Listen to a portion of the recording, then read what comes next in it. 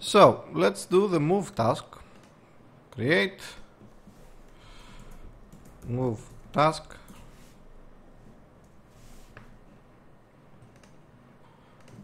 Add namespace.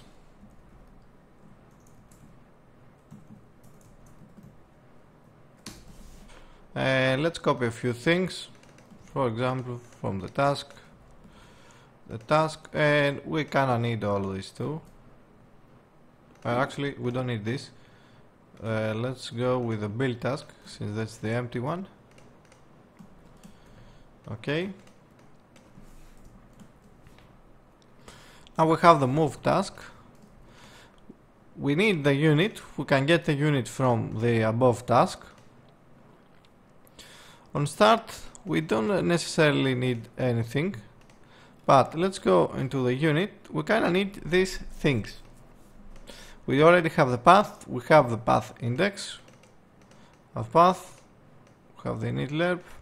Actually, let's just do the tick over here since the unit knows what actually is moving. But what I'm going to change is I'm going to pass the delta inside the tick instead of here. Okay, so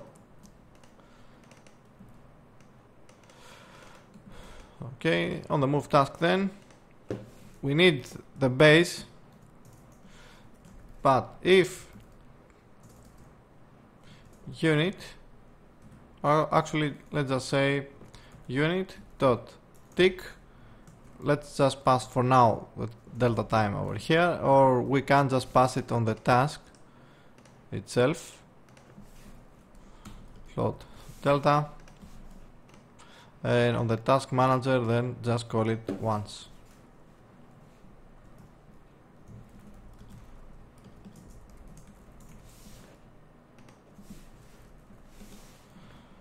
Tick. Okay. Then build task needs delta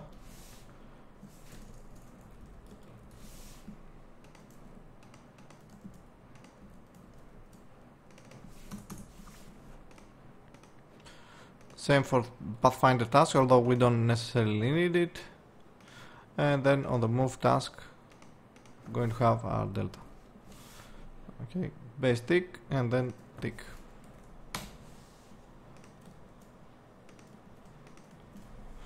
Awesome. So, okay, we have all of this. And on our move task, we are moving our unit. If our unit now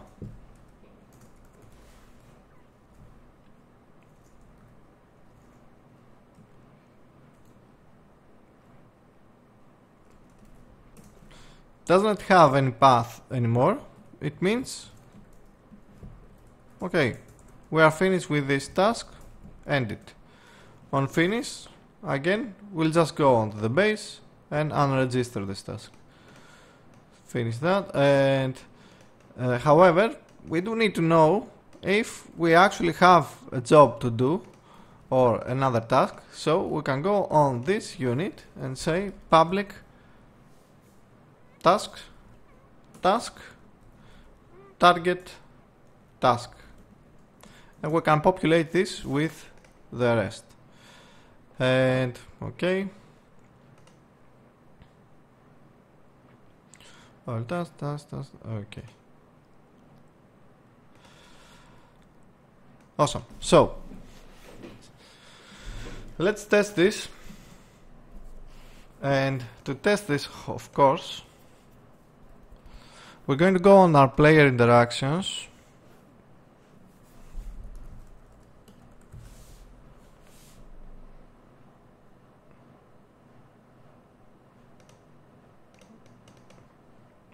And we're going to go on to let's remove all of this. We just want we don't need this anymore. We can delete it but let's keep it for now. We can say void uh, okay let's just say test because I don't really care to name it appropriately. Test and if input. Mouse button. Get mouse button down. 0 if unit doesn't have a path so has path equals false. And let's find where we are clicking. So on the destroy block for the destroy block. Oops the same logic we have for this for the destroy block. Okay we're just going to say uh, we need the current block. If current block is not null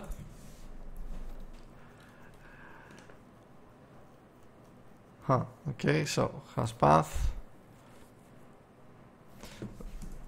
Okay I'm going to do a little bit of if unit is null I'm just going to say return just for the test. So if current block is null then we're going to create a new task a new path task. So pathfinder uh, not pathfinder tasks dot pathfinder task task or path task a new pathfinder task path task dot. Let's see we need to be passing the unit inside and the next task. Maybe for the next next task since this is the pathfinder task we don't need to pass the next task. We already know what the next task is which that will be a new move task yeah that will be a new move task. Okay. Since you have the path you kind of want to move on it. So back to our player interactions. new path task for the unit. And the unit itself I'm just going to say null for now because I don't really want to do anything. So this will create a new path. We need to register it. So task manager. Singleton. Register task path task. This will call the reference to the pathfinder master. When the pathfinder master returns let's do a debug log for loading the unit for when we load this. So let's say debug.log path loaded. Okay so when that is called we're going to be inside over here. Then we're going to have a path. Okay so we're going to call the pathfinder and then the pathfinder will assign the move task. And when the move task is finished then that basically means our unit will have been uh, uh, on the correct position. Okay minimize that. We need to assign a few references onto our world. So let's assign this over here. And then on the world generator let's create a new empty game object inside our world. Let's call this task manager. Okay and let's assign this as task manager. We don't need to do anything over here and let's make sure we also have the pathfinder. Okay since these are here.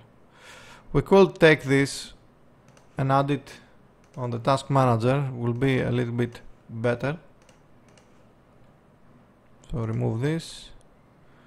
Uh, let's copy this and add this as well over here. So we have everything on the same uh, object. Awesome. Awesome. Save clear this or unload the scene and hit play load okay so now when I click on a position yeah nothing will happen.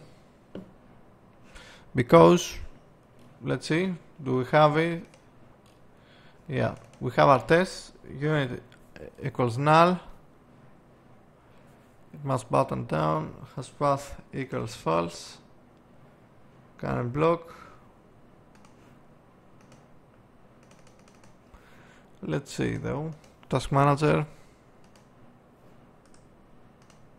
Slow the scene. We have our unit. Can assign the pathfinder manager. Over here okay.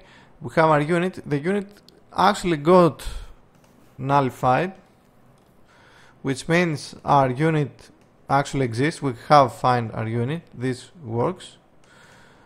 This will register the task.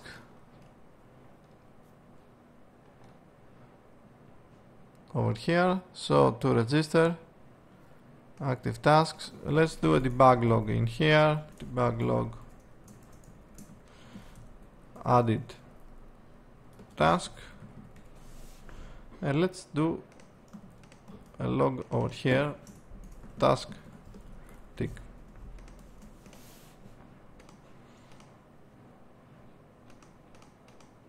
Let's hit play.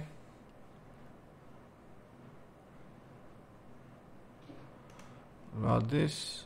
Okay. Task tick uh, actually runs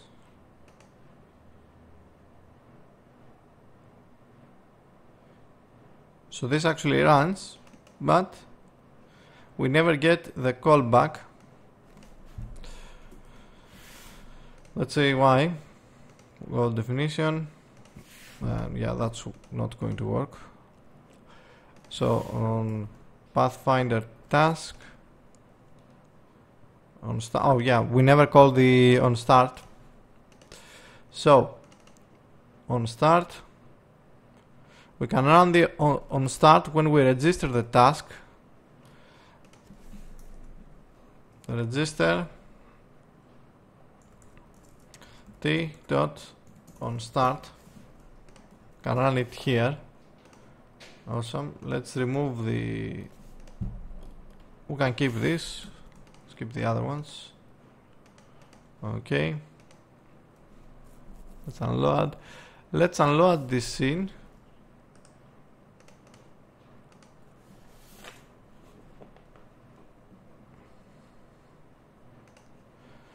uh, let's click now. Okay so we have a stack overflow. Let's see where. For whatever reason we have a stack overflow on the register task. So if to register contains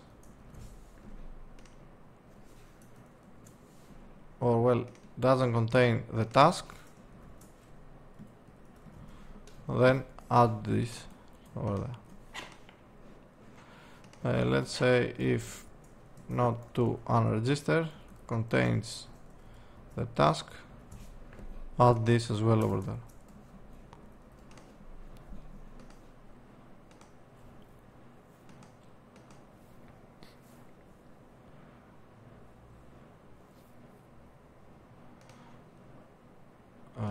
let's see? We add the task.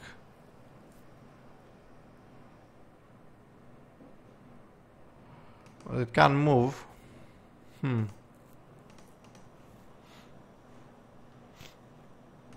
Task manager we yeah. Okay so let's see. Uh, pathfinder task from oh yeah, of course it can't move since we never assigned this to. Damn it. So, uh, player interactions. On the request path, we're basically going to take this world and current block. Okay, so path task. Let's go over here. Let's find our block. So block target or actually we already have both of them. So that will be path task dot from. That will be unit dot current block. Block let's see.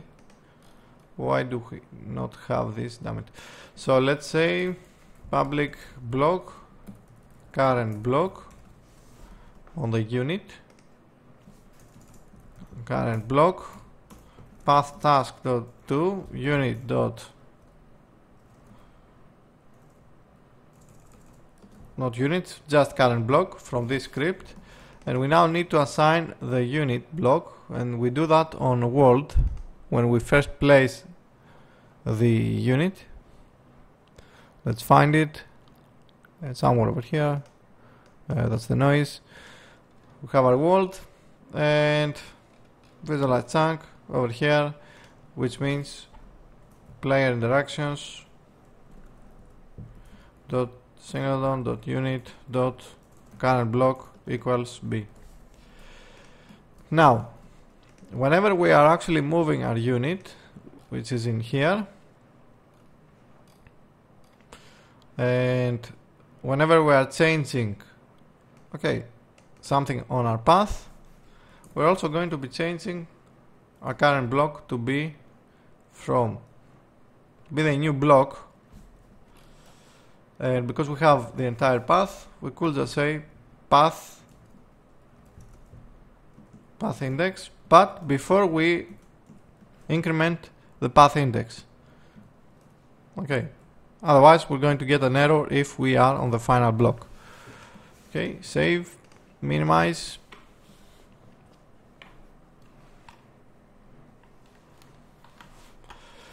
and let's try it again. I think now we should be should be working. Uh, maybe not. Okay let's see why. So uh, player interactions. Path task from path task to.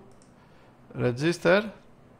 When you register you're going to do the on start and oh that's why we were having yeah that's why we were having a stack overflow because we were also doing this on start. So let's delete this. And then on the path on the pathfinder task on start you're going to request pathfinder Okay, let's assume this is working, although I don't believe it actually does. To do jobs, okay, this will add it back on the to do. Mm. Yeah, it might be this that is the problem, but might be not.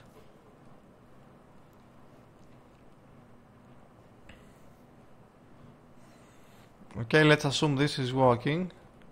On finish let's do debug.log on finish.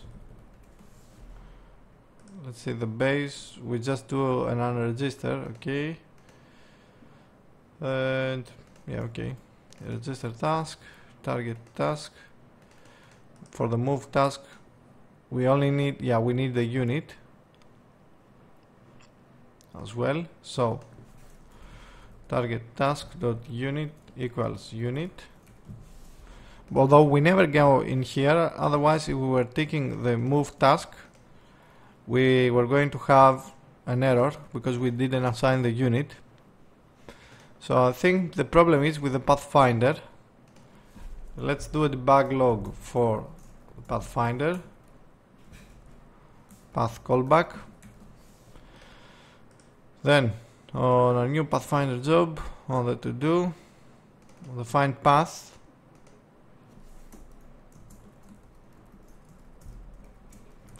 find path, and over here we're going to say bug log path complete.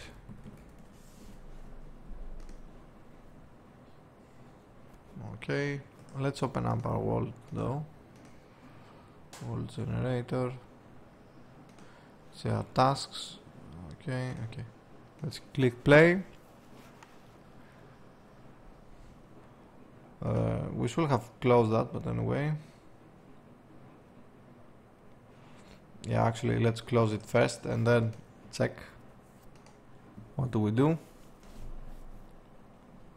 Load. And click add the task find path. We are till here so find path actual is the problem. And I'm going to guess that it has to do with the yeah maybe it has to do with this.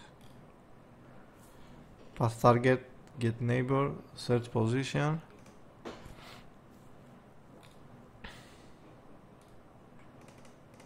target not equals null yeah maybe not.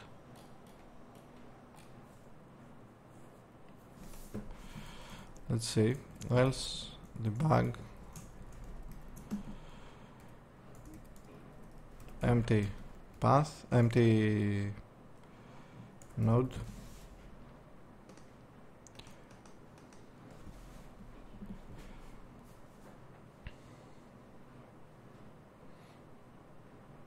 add find path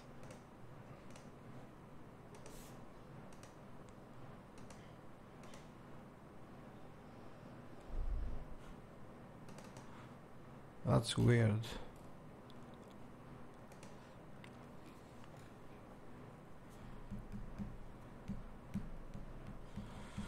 Yeah, for whatever reason we're not in we're not coming in here, we're not executing our jobs.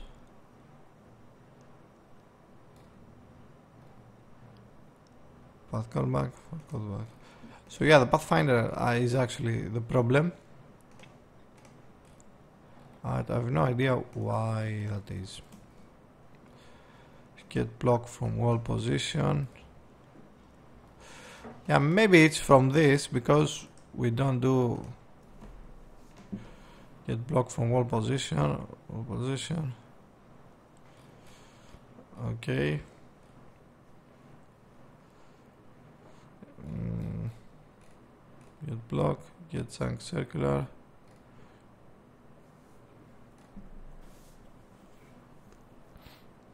Mm, circle around.